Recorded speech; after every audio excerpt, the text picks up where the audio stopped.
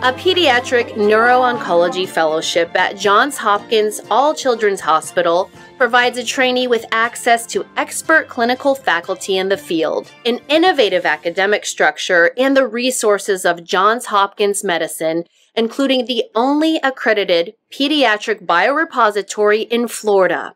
We draw patients from around the globe and feature a learner centric environment that encourages excellence in both clinical skill and scholarship.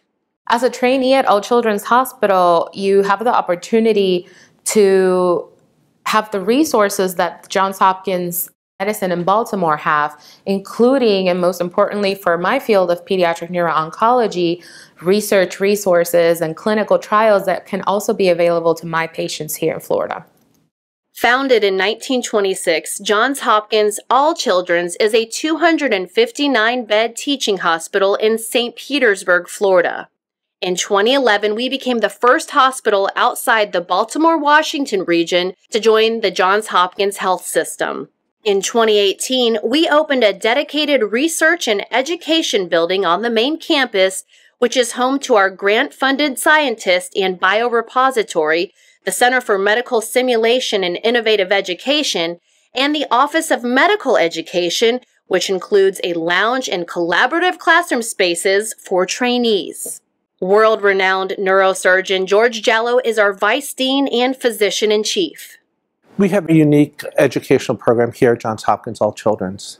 Our trainees, aside from doing their clinical uh, responsibilities, have the opportunity to learn about clinical research as well as basic science research. There's an emphasis on the whole person and their opportunity to learn rather than just providing basic care to the children. What attracted me to this program was the opportunity to work with uh, world renowned professionals in the field of pediatric neuro-oncology, such as Dr. Jallo and Dr. Stacie Stapleton.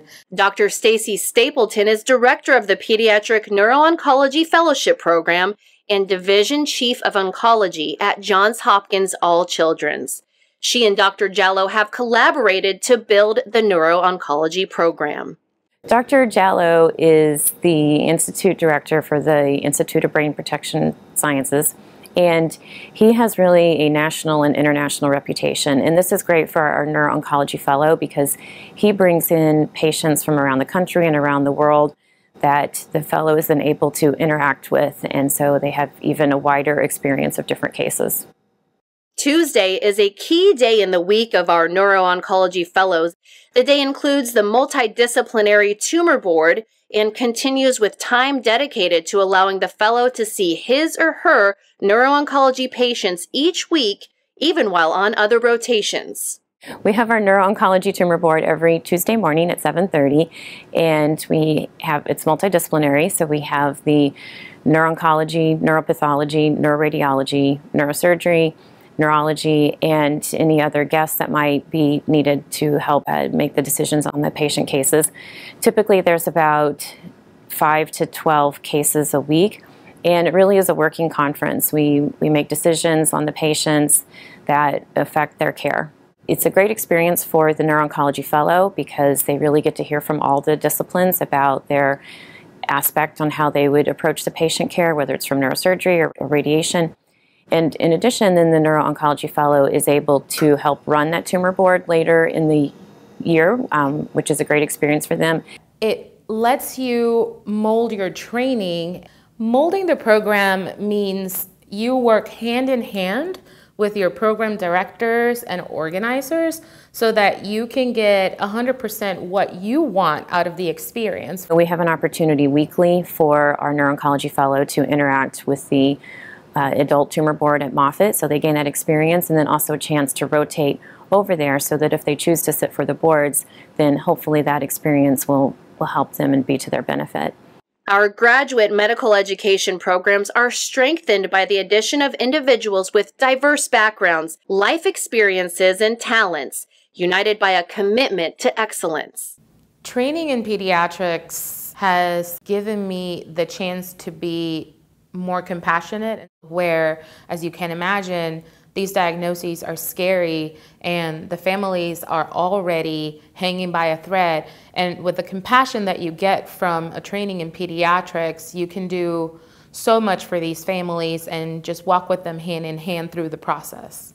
We want somebody who is obviously qualified, but even more so passionate about neuro-oncology. I really want to hear about why you are drawn to that specialty because it is a real, real dedication to go into that as your career. Working as a neuro-oncologist can certainly have its challenges and some days can be can be difficult, but there are many, many, many rewards and frequently I get to give good news to patients and tell them that they're cured and they're done with therapy. If you want a challenging and collegial experience that offers strong interaction with faculty, applying for a Johns Hopkins All Children's Neuro-Oncology Fellowship is the right choice for you. I love this place so much. The camaraderie that I have with my colleagues and the knowledge that I have gained throughout the year moved me towards seeking a position here, and thankfully, here I am.